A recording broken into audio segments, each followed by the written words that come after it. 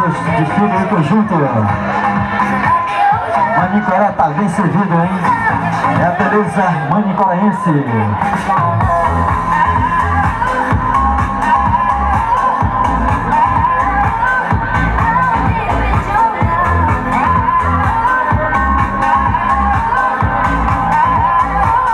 Essas são nossas cinco candidatas concorrendo à garota Atininga 2017.